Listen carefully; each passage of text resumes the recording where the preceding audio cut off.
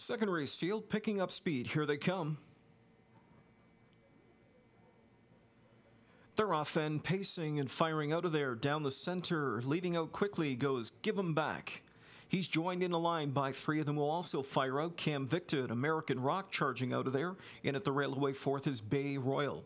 Black Vinny to the inside from in fifth, and a gap of three lengths early to the Rock in sixth. Into the first turn they go, and Cam Victor shot to the front, and he takes charge as they move to the quarter pole. Into the pocket position from in second rides along American Rock. Overland from in third, give him back, getting roughed up in the early going. A 26 second first quarter, lots of speed as they travel into the backstretch, and outside is give him back back as he desperately tries to get by. Henry on the inside comes back on here with Cam Victor. Cam Victor's got to drive on.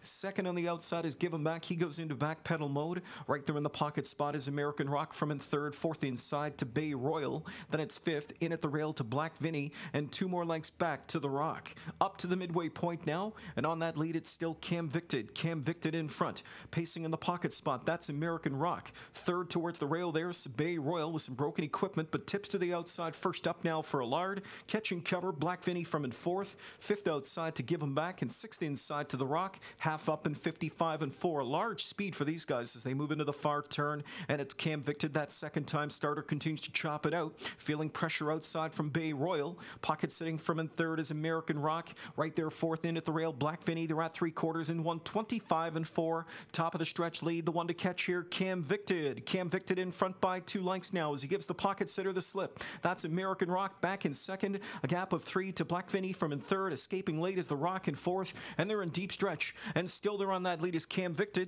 Cam Victor on top by just over a length. Surging at him late on the outside. Here comes American Rock who's going to make it tight. Cam Victor holds on. It was Cam Victor over American Rock. Black Vinny a way back third. The Rock was fourth in 154 and 1.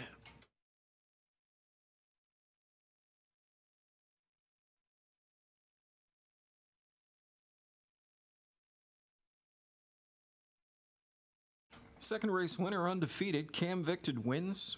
Three-year-old Camluck Colt out of the Apaches fame mare exonerated. A 155 and 3 winner at first asking, January 19th, back in the box tonight, back into the winner's circle tonight, 154, 1 5th the win time. As Cam Victor wins tonight's second race. For owners Doug and Dennis Beelan of Oil Springs, Ontario, and Brian Fitzgerald of Dresden. Pacer now hangs his harness bag in the barn of trainer Richard Moreau.